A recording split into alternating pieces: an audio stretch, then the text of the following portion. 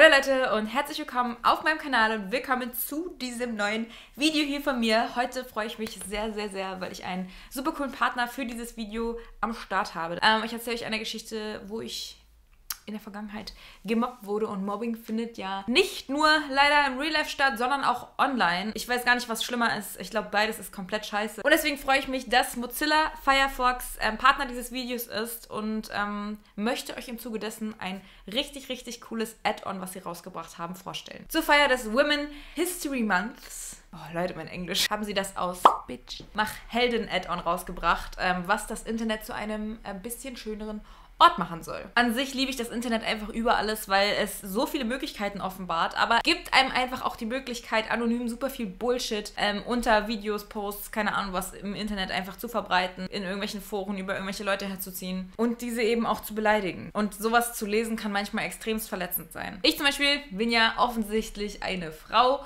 und ich bekomme super oft so unnötige Kommentare, einfach weil Frauen dumm sind oder ja, sehr viele Schimpfwörter. Wenn ich mal irgendwie ein bisschen mehr Ausschnitt trage, werde ich direkt irgendwie eklig belästigt oder keine Ahnung. Also es ist manchmal echt nicht so einfach, es irgendwie allen recht zu machen. Ich bin mega gespannt, deswegen möchte ich auch den Add-on für den Mozilla Firefox Browser runterladen. Das Add-on erkennt Beleidigungen an eine Frau, wie zum Beispiel Schlampe, Nutte, alle Sachen, die wir nicht hören wollen und ersetzt diese dann mit dem Wort Heldin, was ich irgendwie mega cool finde. Dann wird das Ganze irgendwie so richtig in die Höhe gehoben und man fühlt sich nicht so scheiße, wenn man sowas liest. Ich finde, das ist auch irgendwie so ein bisschen so ironisch, also weil die Leute wollten dich beleidigen und dann geben sie dir so mit dem Add-on ein Kompliment und das feiere ich irgendwie extrem. Ich finde, das ist eine saukoole Aktion. Ich habe euch den Add-on ähm, ganz, un äh, ganz unten, ganz oben in der Infobox unten verlinkt. Ähm, da könnt ihr raufklicken, dann müsst ihr einfach nur den, das installieren. Und wenn ihr natürlich Firefox noch nicht habt, dann äh, solltet ihr natürlich erstmal vorher Firefox installieren. Das Ganze gibt es natürlich auch auf Englisch und Französisch, also falls ihr irgendwie das in einer anderen Sprache ausprobieren wollt, könnt ihr das auch sehr, sehr gerne tun. Und dann wird hoffentlich das Internet ein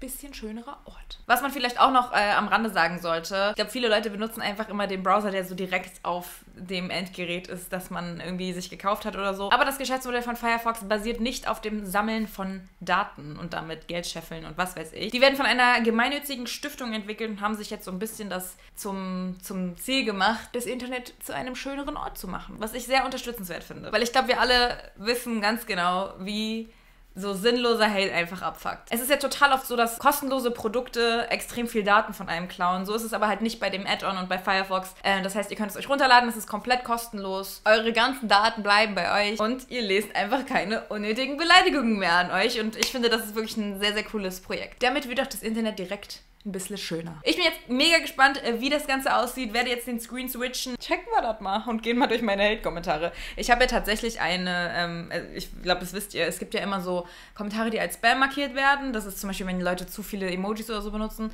Dann Kommentare mit gesperrten Wörtern, die YouTube so Beleidigungen und sowas. Und ich werde da jetzt auch mal durchgehen und gucken, ob ich da das eine oder andere finde, was verändert wurde von dem Add-on. Ich füge das Add-on jetzt einfach mal hinzu. Dann ist es auch installiert. Also viel mehr muss man dann eigentlich auch nicht machen. Hier seht ihr jetzt den ähm, Firefox-Browser und ich würde sagen, wir starten einfach mal direkt und ich gebe einfach mal ein, ich bin eine Schlampe. Und ihr seht direkt wird das Wort in Heldin, es gibt ganz viele Heldinnen-Tests, ob man eine Heldin ist, was ich persönlich sehr süß finde. Probieren wir auch mal Sunny Loops Schlampe.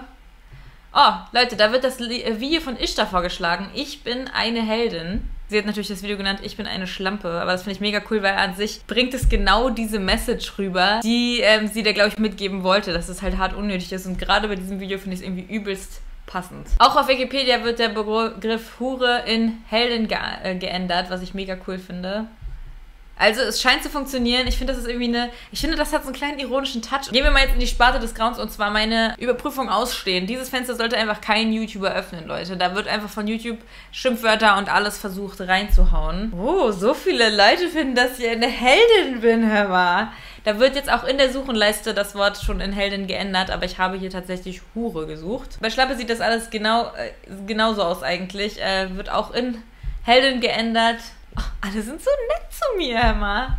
Hier, dumme Heldin, Heldin, klickgeile Heldin, kleine Heldin, geputzten Heldin. Also ich finde, das Addon ist wirklich eine sehr, sehr coole Sache. Ist halt so eine kleine Spielerei, die irgendwie das Internet zu einem... Ich weiß nicht so, wenn man das jetzt liest, denkt man sich so, dann ist, tut es nicht so weh, wenn man das Schimpfwort nicht sieht, sondern man weiß direkt, der wollte dich eigentlich beleidigen, aber irgendwie ist was Sympathisches bei rausgekommen. Auf Englisch heißt Heldin dann, by the way, Boss, also dann steht da immer, you're a Boss. Schreibt mir mal sehr gerne in die Kommentare, was ihr über dieses Add-on haltet. Und ich würde sagen, ich packe mal ganz kurz meine kleine Geschichte aus. Und zwar, das ist eigentlich so eine ähnliche Sache, da wurde ich zwar nicht als Shampoo oder sowas beleidigt, sondern als Hexe. Ich hatte ja damals rot gefärbte Haare, ähm, sehr, sehr lange sogar. Und ähm, da sind nicht alle so mega gut drauf klargekommen. Also vor allem sehr viele Jungs haben mich beleidigt, haben gesagt, ja, wie kann man sich denn als Blondine die Haare rot färben? Wie sieht das denn aus, du Hexe und so. Also ich wurde damals dann schon sehr oft mal als Hexe beleidigt. Das ging, Ganze ging so weit, dass ich teilweise im Schulbus, also wir hatten zwar keine Schulbusse, aber die Busse sind direkt vor unserer Schule gefahren, random Information. Es war sozusagen wie ein Schulbus. Und ähm, ich habe es immer gehasst, im Doppeldecker zu sein, weil irgendwie im Doppeldecker war das immer so, dass man oben saßen immer alle, weil da durfte man ja nicht stehen, man durfte nur unten stehen. Und wenn du dann sozusagen oben warst, irgendwo langlaufen wolltest, haben dir immer alle ein Bein gestellt, die gesessen haben. Und bei mir war das irgendwie sehr extrem. Also mir haben voll oft Leute ins Schienbein getreten und Hexe gesagt oder mich äh, mir ein Bein gestellt und dann gelacht und sowas. Und das Ganze ging einfach so weit, dass ich ähm, einmal auf dem Schulklo war und da waren so drei Mädchen, die ich nur so richtig flüchtig kannte. Also ich wusste eigentlich gar nicht, dass wir wissen, wer wir untereinander sind. Die waren, glaube ich, auch eine Klasse über mir. Nee, die waren sogar in meinem Jahrgang.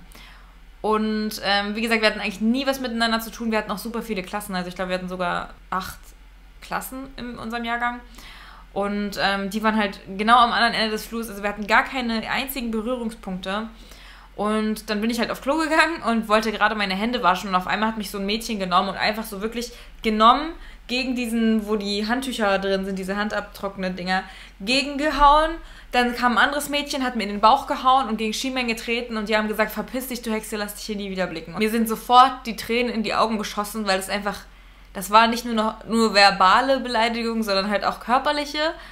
Und zusammen hat es einfach so das unschönste, eins der unschönsten Erlebnisse. Es war wirklich eine so schlimme Situation, weil ich aufgrund meiner Haarfarbe beleidigt wurde, zwar jetzt nicht als Hure oder so, aber als Hexe und nicht nur das, sondern ich wurde dazu auch noch körperlich komplett kaputt gemacht. Und ich war damals einfach viel zu, also ich war viel zu krass eingeschüchtert, weil das waren eh Mädchen, die relativ berüchtigt waren. Also, wie gesagt, ich hatte mit denen nie irgendeine Berührungspunkte, aber ich weiß, dass sie zum Beispiel unseren Chemielehrer im Unterricht immer abgeworfen haben. Eine Lehrerin hat mal wegen denen geweint, weil die von denen beleidigt wurde. Und sowas geht halt einfach viel zu weit. Und ich habe mich auch an niemanden gewandt. Ich habe es nicht mal meiner Mutter erzählt. Ich habe es einfach komplett in mich reingefressen. Ich hatte immer extrem Angst, wenn ich die Mädchen äh, gesehen habe in der Schule. Erst so zwei, drei Jahre später habe ich die, habe ich so, also die sind dann auch alle nach der 10. Klasse abgegangen. Also das waren welche, die wurden auch nicht zum Abi zugelassen und so.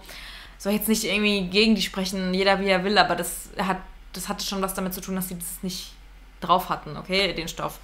Und ähm, ich habe irgendwann mal auf einer Party die wiedergesehen und habe die so krass zur Rede gestellt und die haben sich so unnormal bei mir entschuldigt, weil sie dann am Ende meinten, okay, keine Ahnung, was uns geritten hat, aber wir waren einfach, keine Ahnung, wir haben einfach in der Schule es zu nichts gebracht. Wir wurden von unseren Eltern auch geschlagen und so und die sind einfach damit aufgewachsen und im Endeffekt haben sie sich bei mir entschuldigt. Ich habe es auch verziehen. Ich hoffe einfach, dass niemandem von euch sowas widerfährt, weil ich gerade auch merke, wenn ich drüber rede, Leute, es fällt mir, fällt mir wirklich schwer. Also ich, ich bin so jemand, wenn mir was unangenehm ist oder so, fange ich immer an zu lachen. Und es, allein, dass ich bei diesem Thema so ein bisschen anfangen muss, so zu lächeln, ist irgendwie, meine Emotionen lassen es nicht richtig zu irgendwie, dass ich, dass ich es so richtig an mich ranlasse. Ich wünsche einfach niemandem von euch, dass er irgendwie verbal beleidigt wird oder gemobbt wird, wegen seinem Aussehen irgendwie gemobbt wird oder so oder auch körperlich angegriffen wird. Ich, und ich finde, die Kombination aus beiden ist wirklich mit Abstand das Allerschlimmste. Zum Glück war das nicht so, also das war keine lange Zeit und das war auch eigentlich nur von dieser Gruppe aus. Also ich wurde von allen anderen überhaupt nicht gehatet. Viele Leute haben auch meine Haarfarbe zum Beispiel nachgefärbt und haben die sich nachgemacht und haben gesagt, geil, ey, ich liebe die Farbe und ich persönlich liebe rote Haare so sehr. Ich finde, es sieht so wunder, wunderschön aus. Ich würde mir, wenn meine Haare nicht so kaputt gehen würden, davon wieder, oder ich wissen würde, ich will danach kein Blond mehr werden, weil Rot ist echt schwer aus den Haaren rauszukriegen. Ich habe sehr lange gebraucht. Ähm, dann würde ich sie mir tatsächlich wieder rot färben, weil keine Ahnung, ich habe keine Angst mehr vor solchen Kommentaren. Ähm, aber damals hat es mich sehr getroffen. Aber es hat mich nicht dazu bewegt, meine Haare umzufärben. Ich bin trotzdem weiter die rothaarige Sonny gewesen. Das muss man auch mal dazu sagen. Also es hat mich irgendwie nicht so krass getroffen, dass ich mich beleidigt gefühlt habe. Ich habe mich einfach nur, ich glaube, ich habe damals halt schon gemerkt, wie unfair das ist und wie uncool das ist und wie wenig Wert deren Aussage hatte. Nur natürlich hat es mich trotzdem extrem getroffen, dass ich gemobbt werde und auch geschlagen werde und so. Am Ende haben die ihren Preis bekommen. Ich glaube, Karma regelt bei sowas immer. Es sollte so, so ein Add-on auf jeden Fall noch fürs Real Life geben, definitiv. Ja, schreibt mir mal sehr gerne, was ihr von dem Add-on haltet. Ich wollte euch das nur nochmal mitgeben, falls du ein Mobber bist. Verpiss dich bitte einfach. Du bist einfach so unnötig und demnächst können deine Kommentare eh nicht mehr das erzählen, was sie sollen, weil alle nur noch Heldinnen sind. Mit diesen Worten würde ich sagen, falls ihr das Add-on gerne installieren wollt, äh, ist es unten in der Infobox verlinkt. Äh, habt noch einen sehr, sehr schönen Tag. Habt euch gegenseitig lieb, seid nett zueinander und dann würde ich sagen, sehen wir uns beim nächsten Video wieder. Ciao!